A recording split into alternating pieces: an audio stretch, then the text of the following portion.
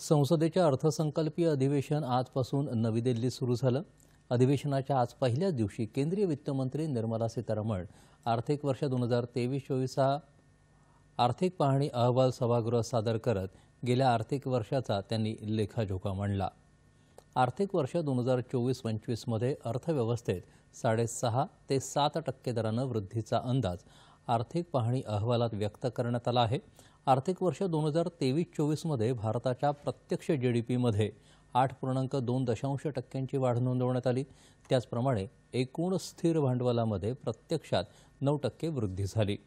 जागतिक अनिश्चित वातावरणातही आर्थिक वर्ष दोन हजार तेवीस चोवीसमध्ये देशांतर्गत वृद्धीला सहाय्य ठरणाऱ्या घटकांनी आर्थिक वृद्धीला मोठं सहाय्य केलं तसंच किंमत स्थैर्य सुनिश्चित करून त्या आव्हानांवर मात करत भारतानं समर्थपणे धोरण राबवलं असं या अहवालात नमूद करण्यात आलं आहे. देशाच्या बँकिंग आणि वित्तीय क्षेत्रात उल्लेखनीय कामगिरी केल्याचं या अहवालात म्हटलं आहे.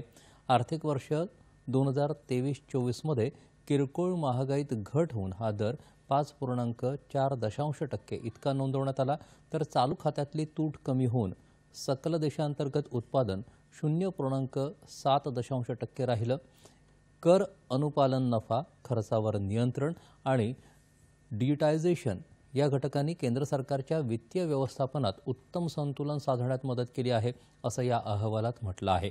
यापूर्वी या अधिवेशनात सार्थ आणि सकारात्मक चर्चा व्हावी आणि सर्व सदस्यांनी सहकार्य करावं असं आवाहन लोकसभा अध्यक्ष ओम बिर्ला यांनी सदनाचं कामकाज सुरू होण्यापूर्वी केलं. पंतप्रधान नरेंद्र मोदी यांच्या तिसऱ्या कार्यकाळातील पहिला केंद्रीय अर्थसंकल्प वित्तमंत्री उद्या मांडणार आहेत. या अधिवेशनात एकूण सहा नवी विधेयकं सरकार मांडणार आहे. बारा ऑगस्टपर्यंत हे अधिवेशन चालणार असून बावीस दिवसात सदनाच्या एकोणीस बैठका होणार आहेत.